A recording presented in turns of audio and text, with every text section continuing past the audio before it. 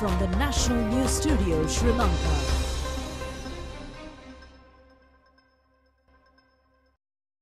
This is the national broadcast coming to you live from the Rupavahini studios. It's a bit chilly outside, it's chilly inside the newsroom too, but it's not for the good reasons and we're ready to bring you those stories as well. Together with Lakshita Edurisinga, I'm Sharon Mascarenhas. First, it's a look at the day's headlines. Air quality in various parts of the country, including Colombo City, has dropped. Several key cities in India are covered with toxic fumes. The appropriation bill for the year 2023 passes with a majority. President says electricity tariffs will have to be increased even amidst great difficulty. A deep depression in Bay of Bengal transforms into a cyclonic storm. Operations to rescue a child fallen into a bore well in Madhya Pradesh, India. On to those and other stories in detail. We start off with the top story for tonight. The air pollution level in several parts across the country, including Colombo City, increased up to a higher point. The health authorities have pointed out that the prevailed condition was not appropriate for vulnerable and sensitive, segments in the society. However, the prevailed air pollution subdued during the evening hours. An influx of dust particles contaminating Sri Lanka's atmosphere through strong northern winds from India caused the harmful polluted air quality in the country. The air pollution rate as per the air quality indicator in Colombo had exceeded 280 points this morning. The foggy or misty conditions observed these days in several parts across the country, including Colombo City, due to the increase in dust particles in the atmosphere, have created an unhealthy air quality. If the particle levels exceed the 300 mark, the atmosphere is deemed as extreme and air pollution condition. Accordingly, according to the US Air Quality Index, the air quality in Colombo is at a polluted level, which is unhealthy for the people. Such air pollution conditions occur each year and cascading haze smokes, which result in poor air quality is caused mainly due to industrial pollution and stubble burning. However, unavailability of air quality indicators in other parts of the country has failed to determine the exact air quality levels accordingly. The health authorities have cautioned the public to wear face masks when outdoors and to keep windows and doors shut, preventing polluted air from entering the households. Now, the Secretary to the Environment Minister, Dr. Anil Jayasinghe, uh, cautions children and the elderly with respiratory and heart diseases to wear face masks during outdoor activities. The Ministry of Environment has requested the public in Colombo, Kandy, Ratnapura, Jaffna and Vavuniya districts to be cautious of high air pollution. Dr. Anil Jayasinghe, uh, in an exclusive statement to the national television, said that the present smog situation was not generated in the country. Of course, the air quality in various parts of Sri Lanka has gone down. Uh, but of course, we have experienced the bad air quality everywhere, but not to this extent. And it's the first time that it has gone down to this extent. It's not a problem generated in Sri Lanka. A low pressure in Bay of Bengal. Has been coming to Sri Lanka from India, from New Delhi and other parts of India. And that is the reason for this poor quality of air, when we talk about the poor quality of air, we generally consider the particulate matter. In fact, uh, there are two main categories of uh, particulate matter, 2.5 and 10. The PM or particulate matter 2.5 is more harmful to health than uh, 10 and this time what we see is that particulate matter 2.5 and 10 both has gone up. And in fact has been indicated in many cities Sri Lanka that the PM has gone up. So but we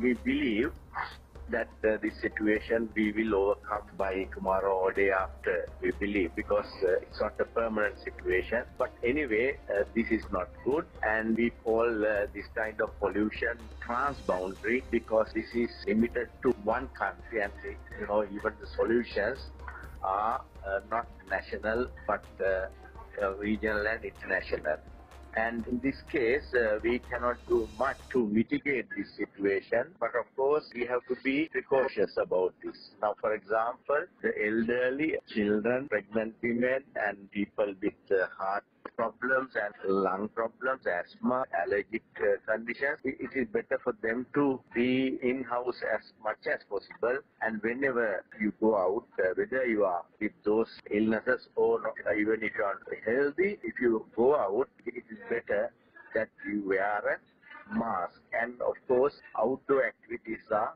not recommended during this period.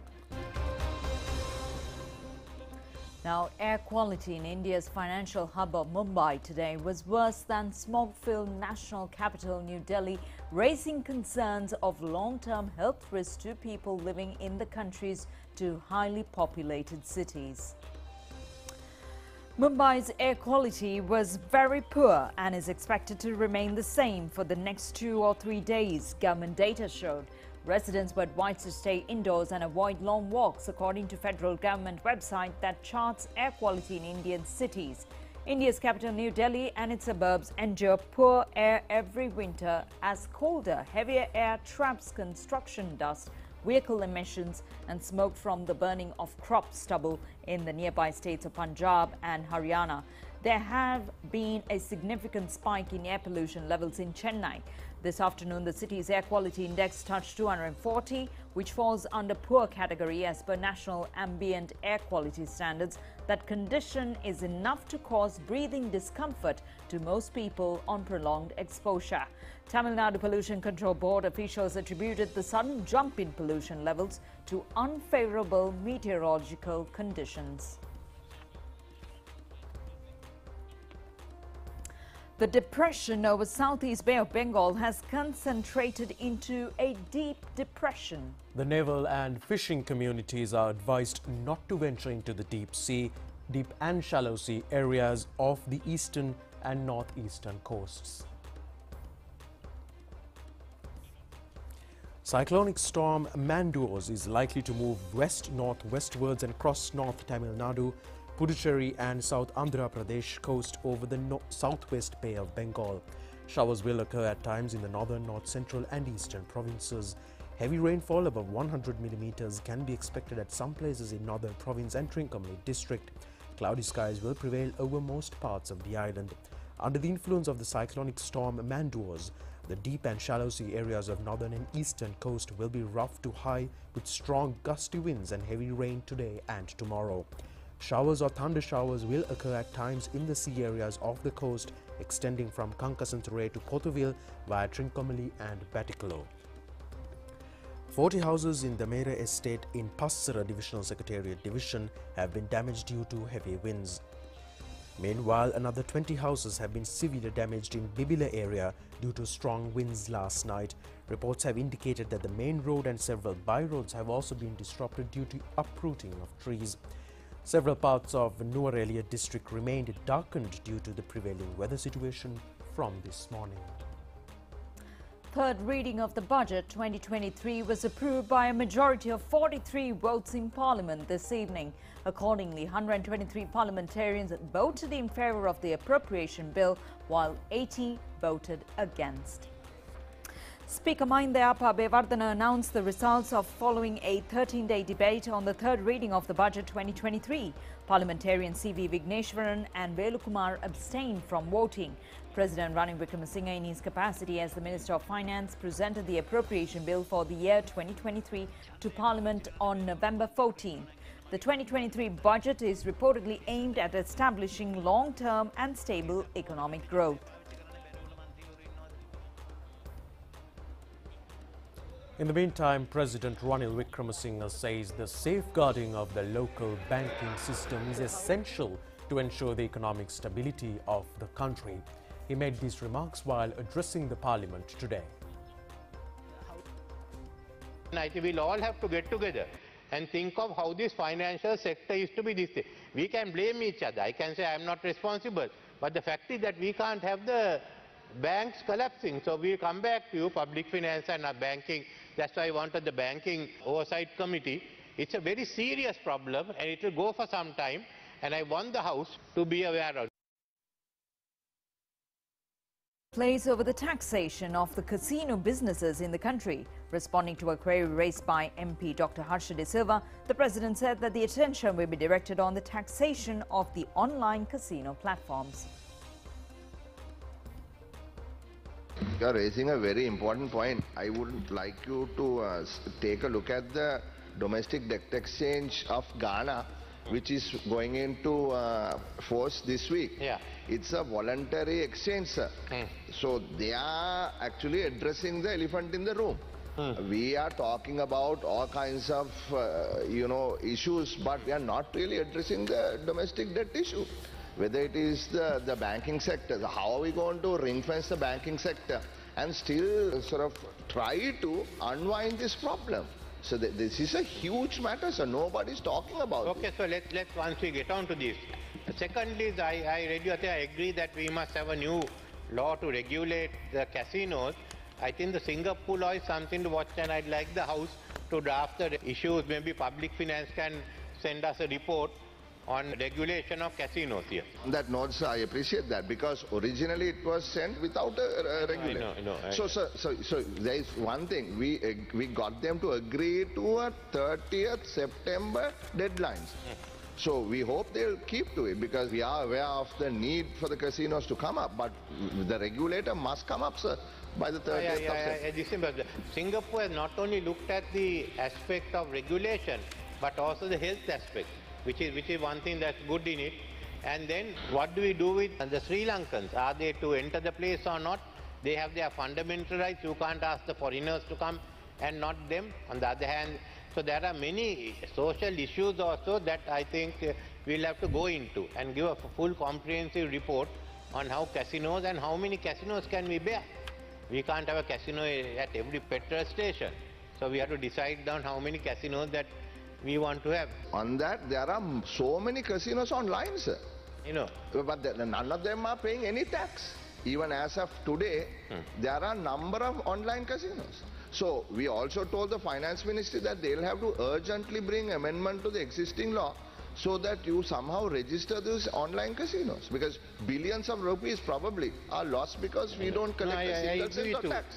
No, no, maybe that's why I said I wanted the parliament to go into it, come back with a comprehensive one which all can do quickly and we can sort that out. But we have to go ahead. But I want you all to discuss it before we go ahead. How can you run a company if you don't know what your assets are? President Wickremesinghe addressing the proposed electricity tariff hike said that such hard yet important decisions have to be taken to stabilize the economy. We have very, very difficult choices. I, no one here likes to take this choice. Either the economy breaks, the foreign, uh, the people who are going to help us, uh, bilateral creditors may not help us. We are in a really difficult situation. Who the politician who'd like to raise this electricity by 50%? That's why you gave the job to me and no one else wanted it. So I had to take the blame. But, The president also made remarks over the chairman of the Public Utilities Commission.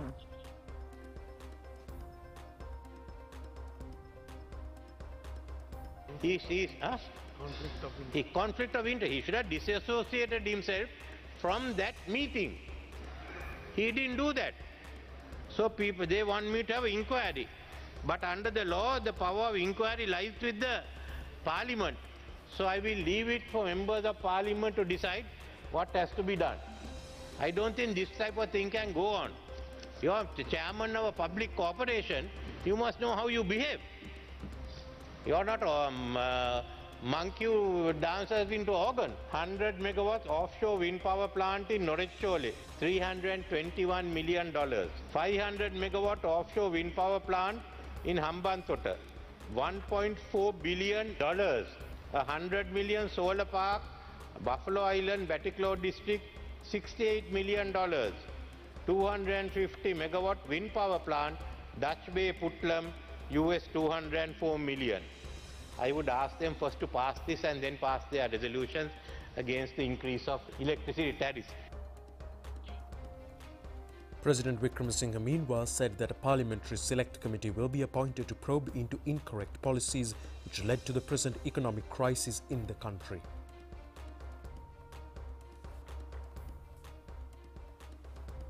සමහර නිලධාරීන්ලා MP මේ තීන් Khalil වැරදි තීරණ Hashim ගත්ත inquired over සමහර the දේශ- steps to be taken against the officials who are responsible for the current economic situation. දඬුවම් දෙන්න කියලා අපි ඉල්ලා සිටිනවා. ඒක විපක්ෂයෙන් අපි ඉල්ලීමක් කරනවා. Thank you, Comrade. ජනාධිපතිතුමා. Thank If the House agrees, I can appoint a presidential commission inquiry or otherwise have a select committee, whichever you want, because House also has power to have a select committee. Huh? You all come on a select committee, we have nothing here. So you, you all decide on that. I don't think there's anything to hide. The our system had lot of structural defects which, which got triggered off by reducing the taxes.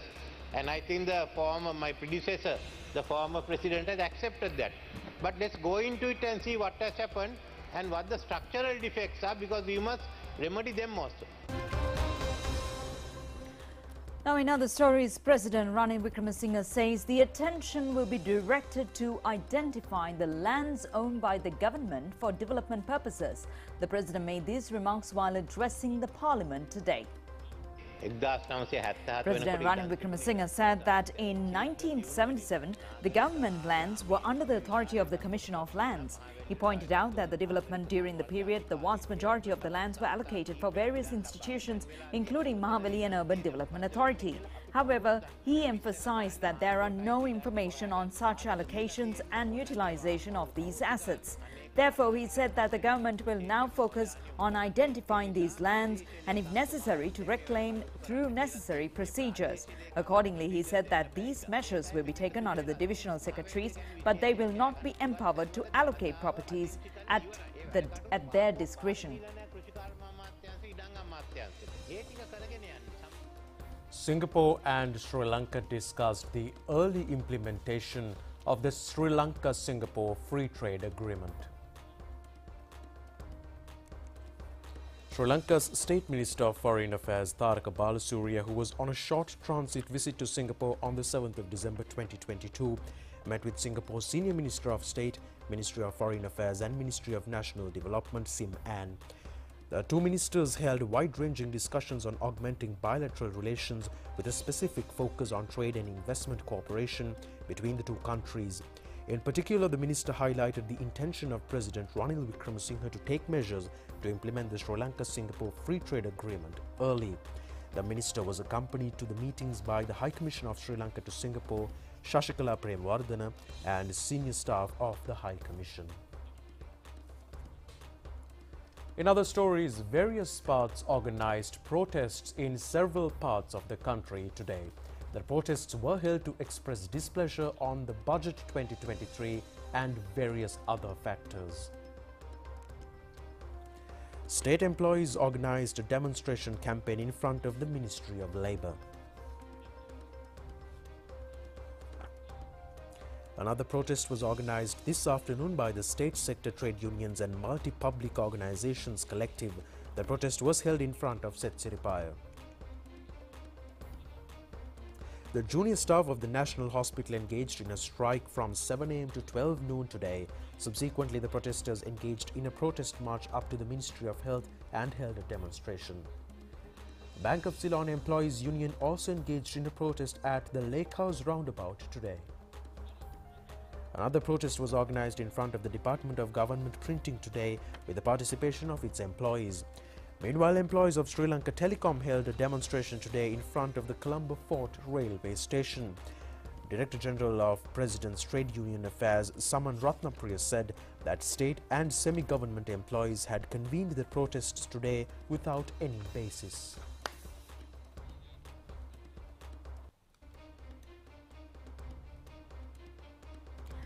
The Election Commission says the notice to call for nominations to local government elections will be issued during the last week of this month. The Election Commission, in a statement, has further indicated that the relevant notice will be issued in accordance with the 26th section of the Local Government Elections Act. In the meantime, Prime Minister Dinesh Gunawardena held a discussion with the ambassadors of member countries of the European Union at the Temple Trees yesterday. The Prime Minister briefed them on the steps taken by the government with regard to establishing economic, social and political stability and the results thereof. The envoys who took part in the discussion included European Union Ambassador Denis Chaibi, Ambassador of Germany Holger Seubert, Ambassador of the Netherlands Bonnie Horbach, Ambassador of France Jean-Francois Pactet and Charge d'Affaires of Embassy of Romania Victor Tiuia. Secretary to the Prime Minister Anura Dissanayake also attended the meeting. The Indian Parliament time to time debate over Sri Lanka and its bilateral relations. Accordingly, India's External Affairs Minister Jai Shankar responded to queries raised over Sri Lanka in Parliament. Sir, Vaikoji's uh, two uh, questions. One about our abstention in the UN Human Rights Commission. This has been a long-standing position by India, keeping in mind what not just this government, but its predecessor governments have also thought is the most constructive way of addressing and uh, advancing the interests of the Tamil community in Sri Lanka. That continues to be uh, our approach. Regarding the support we have given to Sri Lanka, please, uh, uh I would request the honorable member to appreciate. We have given support to the entirety of Sri Lanka, which also includes the Tamil community, the Sinhalese community, the other communities. So it, we have not taken uh, uh, a communal approach to giving support. They, uh, to have a neighbor in this kind of serious economic situation, we would be shirking our responsibilities if we did not step forward at that moment. And that is exactly uh, what uh, we have done. With that, we take a look at a few more local stories in brief. Navalapitiya Railway Control Centre has announced that the upcountry railway operations have been normalised which was interrupted due to a derailment. The Badulla Colombo Night Mail train derailed between Nanu Oya and Great Western Railway stations yesterday. Accordingly, the operations along the railway line were disrupted until this morning.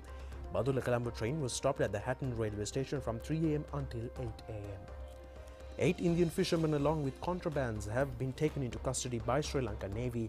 They were taken into custody while attempting to transport the contrabands hidden in a boat to Kalpitiya area.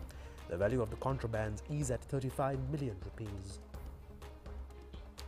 The Special Task Force has taken two suspects into custody along with the ice drug in their possession. Accordingly, the arrests were made during a raid carried out near the Meethotamulla railway crossing. Wellampitiya police have said that the suspects have been identified as associates of alleged drug dealer Meethotamulla Devi.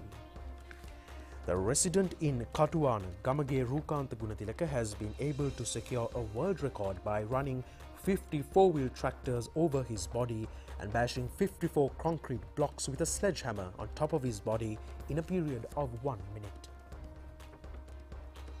Meanwhile, the first ever mobile app designed for state, private and semi-government employees was unveiled today.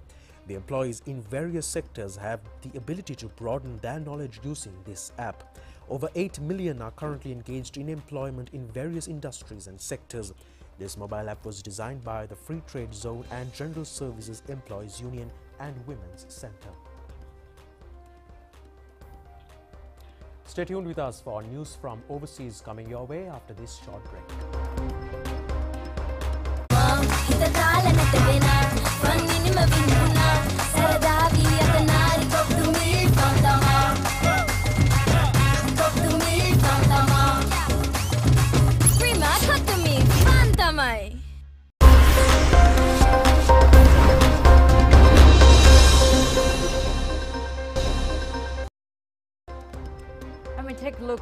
Foreign news now. A massive rescue operation in India is underway to save an eight-year-old boy who has been stuck in a Borewell for over a day. The incident took place in the central state of Madhya Pradesh on Tuesday around 5 p.m. when 8-year-old Tanmay fell into the narrow well while playing with his friends. As per the rescue officials, the child is stuck at nearly 55 feet in a 400 feet deep well. The officials are pumping oxygen to the child, but due to the layers of mud, the rescue parties are unable to assess his condition. Currently, the state's disaster response is helping in the rescue efforts. The machines have so far dug nearly 25 feet deep parallel tunnel. Several children in India have died due to suffocation after getting stuck in bowels.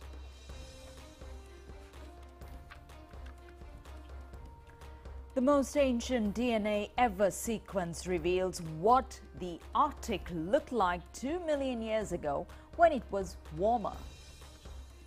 Today, the area in North Greenland is a popular desert, but the genetic material extracted from soil has uncovered a rich array of plants and animals. The scientists found genetic traces of elephant-like mastodons, reindeer and geese that roamed among the birch and polar trees and a marine life including horseshoe crabs and algae. Dina Boluarte has been sworn in as Peru's new president after left-wing leader Pedro Castillo was removed in an impeachment trial and arrested following his attempt to illegally shut down the Congress. The opposition-led legislature on overwhelmingly voted in favor of removing Castillo yesterday, who earlier in the day had announced plans to temporarily dissolve the legislature and rule by decree. Castillo has said the move aimed to re-establish the rule of law and democracy in Peru, but it was widely condemned by opposition leaders and others, including Boluarte, his vice president, as an attempted coup. Congress asked 60-year-old Boluarte to take over following its impeachment vote, making her the first woman to lead the South American nation.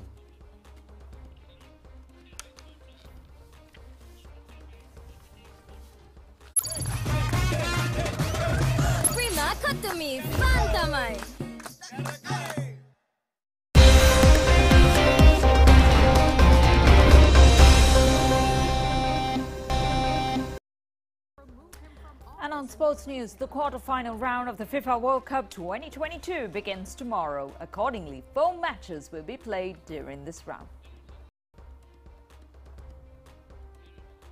That's it. That's a look at Rupavahini News for tonight. Don't forget to wear a mask if you're heading outdoors. Take care. Good night.